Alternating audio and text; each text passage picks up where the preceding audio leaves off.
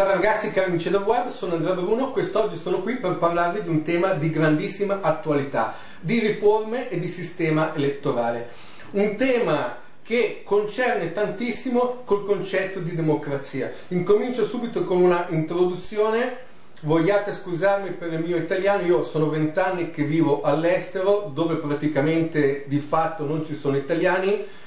e ho modo di parlare l'italiano solamente in questi monologhi, molte parole, molti termini me li sono dimenticati, faccio fatica a ricordarmi, per cui vogliatemi scusare la grammatica e anche se sbaglio qualche parola, perdonatemi, non è eh, su questo che bisogna concentrare la propria attenzione. Vi voglio parlare di un tema che tutti noi abbiamo il concetto di, democrazia, lo sappiamo perché ci viene insegnato a scuola, però tante volte eh, vediamo i fatti scorrere come, guard- come, guardiamo da un finestrino di un treno, li prendiamo questi fatti per buoni, però senza andare a fondo nell'argomento. Il concetto di democrazia prevede una netta distinzione dei tre poteri fondamentali dello Stato, legislativo, esecutivo e giudiziario. Quando noi abbiamo una persona capo del governo, mettiamo, capo di uno Stato che ha una certa ingerenza nei poteri che non gli competono, abbiamo una dittatura affermata. Questo è il caso per esempio del Brunei,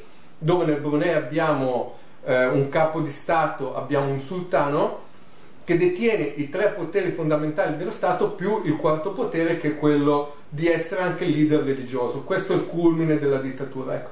È importante sapere che questi, questi tre poteri in uno Stato che si definisce democratico debbano essere nettamente divisi, non ci deve essere ingerenza, non può per esempio un membro del, dell'organo legislativo dare ordine di arrestare qualcuno perché è una cosa che non gli compete, oppure non può eh, un poliziotto giudicare il ladro, questo casomai sarà il, il giudice a giudicarlo, il, il, poliziotto farà il suo lavoro, poi dopo nel merito ci sarà la persona di competenza. Ecco,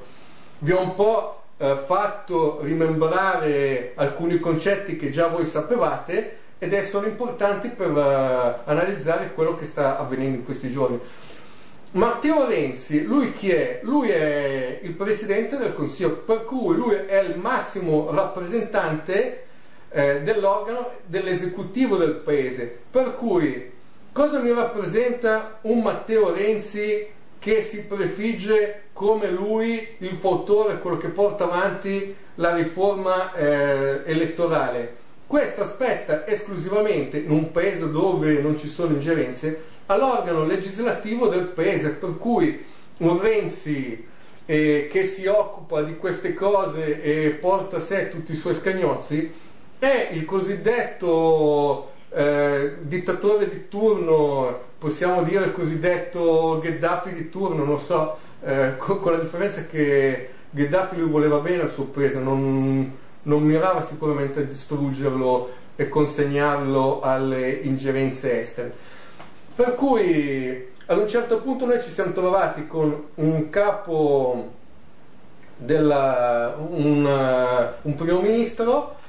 eh, che si è prefisso di fare un qualche cosa che in uno Stato democratico non gli compete, tanto più lui lo sta facendo anche in, uh, in, no, in un contesto unilaterale, ovvero lui simboleggia il... Colui che si sta vestendo, che si sta vestendo con un abito fatto di propria eh, su, su, sua misura. Per cui abbiamo l'apoteosi del, del volere un sistema dittatoriale. In altro luogo, Matteo Renzo, sentito nei suoi discorsi,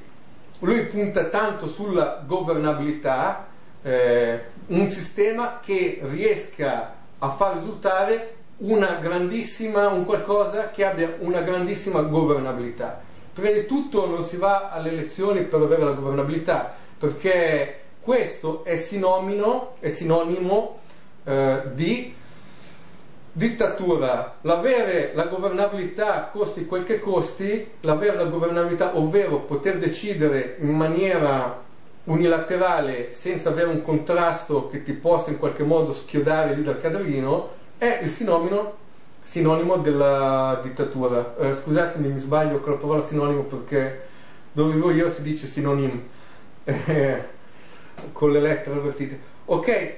eh, un'altra cosa che vi volevo dire, sempre ritornando a Matteo Renzi, è che lui è evidente che sta creando un qualche cosa per uh, far sì che la casta rimanga arroccata nel castello. Hanno sentito il, se- il sentore che comincia questa ondata da parte del popolo di voler riacquistare la sovranità popolare. In effetti l'articolo 1 della Costituzione stabilisce che il popolo è sovrano, ma eh, difatti sarebbe più autorizzato il popolo a creare una legge elettorale, ovvero dovrebbe esserci l'approvazione del popolo, perché noi abbiamo l'articolo 1 della Costituzione che dice che il popolo è sovrano, per cui in quelle poche questioni dove si parla di sovranità dello Stato, il popolo dovrebbe essere interpellato. So, qualcuno ogni tanto dice, però nel, nella Costituzione italiana non è previsto che il popolo usi l'arma referendaria proponitiva.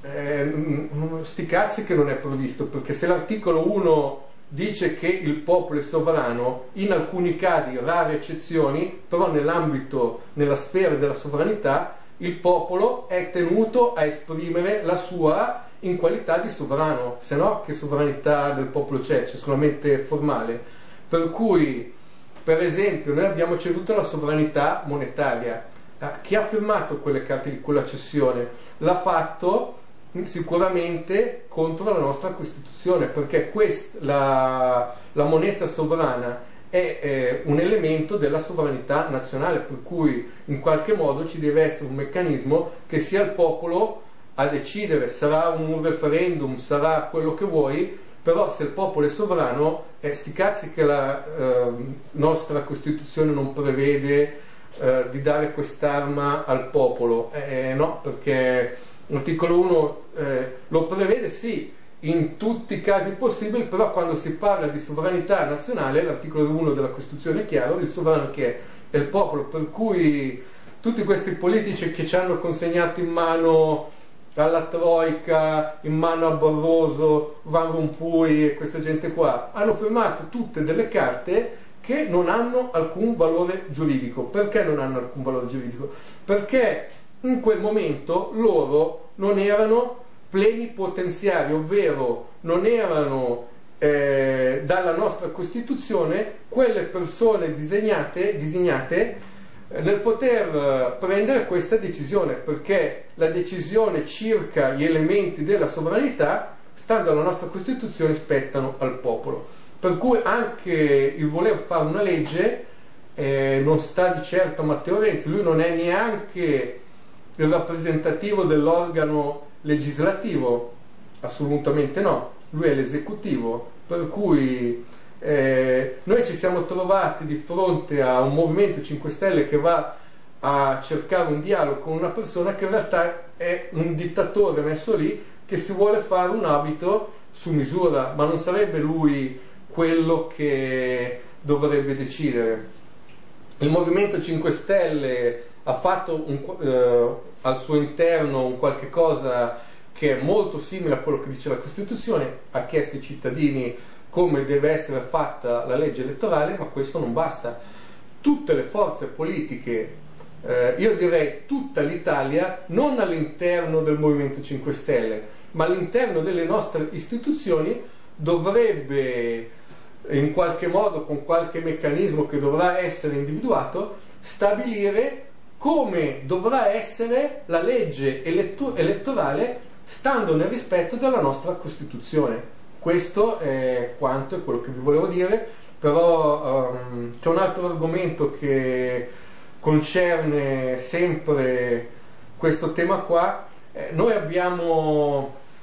in questo caso qui, noi stiamo andando contro una vera dittatura se verrà compiuto quello che si sta compiendo, che tutti noi vediamo sotto gli occhi, ci ritroveremo lì esattamente come una dittatura può essere che non sarà una dittatura nazista o comunista, sarà pur sempre una dittatura e le dittature non vanno bene. Perché dico questo? Perché Renzi lui punta tanto l'accento sulla governabilità, però eh, un sistema in cui delle persone a qualsiasi costo che vengono elette perché sei costretto ad eleggere con ampio consenso quelle persone, un sistema che apparentemente è democratico, ma nella realtà non lo è, è un sistema che ti porta ad una dittatura. Nella realtà eh, non devono essere eh, le, i cittadini obbligati a scegliere un manipolo che sono lì a, a prescindere eh, a governare, dobbiamo avere al governo e anche nel nostro organo legislativo, nel Parlamento, una rappresentativa di tutti gli italiani, per cui di tutte le forze politiche, di tutti i movimenti, i mov- movimenti e poi ogni singola legge, ogni singola proposta è lei che dovrà ottenere la maggioranza, un quorum, per cui ha più significato andare a stabilire eh, i meccanismi del nostro sistema legislativo, ovvero come le leggi devono passare, che eh, ottenere una maggioranza a prescindere che abbia la, governabilità a priori, perché la governabilità a priori, a prescindere, eh, uguale significa nella nostra equazione stare incollati al cadrerino, quindi significa anche dittatura. Ecco, eh, scusate un po' la, il mio italiano, so che è una mia pecca, vogliate scusarmi di questo. Ci vediamo alla prossima, continuate a seguire i miei video, seguitemi su Facebook. E un saluto a tutti i cari amici che mi seguono, agli amici di tutte le forze politiche. Riflettete su questo perché io so che voi lettori del PD vorreste la uh, governabilità, però ve ne va anche a voi, perché alla fine se questi qui loro hanno la governabilità a tutti i costi, ovvero una dittatura, ve lo mettono in culo a tutti quanti, anche voi che li avete votati. Io di certo non li ho votati e non li voto di sicuro. Però riflettete su queste cose, è meglio un sistema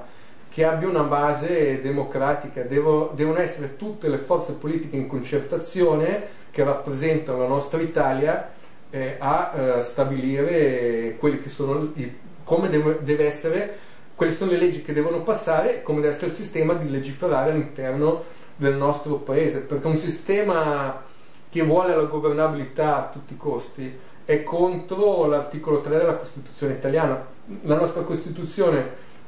dice anche che tutti i cittadini sono uguali, ognuno ha la stessa pari dignità sociale, non c'è una persona che conta più degli altri. Se si crea un sistema in cui i cittadini che votano una certa forza politica sono maggiormente rappresentati all'interno delle istituzioni, eh, è chiaro che vi è anche una violazione costituzionale. Non è giusto che io posso un, un, un singolo la pensa diversamente da tutti gli altri, lui vota il partito Viva la gnocca, per quella sua proporzione che lui rappresenta in qualche modo dovrà avere una voce in capitolo. Sarà anche una voce infinitisamente piccola che non conterà nulla, però la sua voce eh, non dovrà contare nulla, ma da qualche parte non dovrà contare nulla. Non è che deve essere segato e tagliato via dalla scena. Per cui se siamo tutti uguali, ognuno ha pari dignità politica, il partito piccolo, quello più grande, quello più piccolo ancora, ognuno deve avere la propria rappresentativa. La, queste rappresentative in concertazione devono essere capaci di creare leggi che piacciono alla, alla, loro maggioranza interna e che quindi abbiano un largo consenso e riescono a passare tutto l'iter per poter uh, essere approvate, questo sì. Eh, non dobbiamo quindi fissarci su una governabilità a priori, ma su un sistema che riesca a produrre delle leggi che siano loro il frutto dell'ampio consenso. Ecco, questo è un po' che, quello che volevo dire. Eh, mm, so che qualcuno potrà anche non pensarla come me, io vi saluto tutti, fate i commenti a questo video e ci sentiamo alla prossima. Ciao!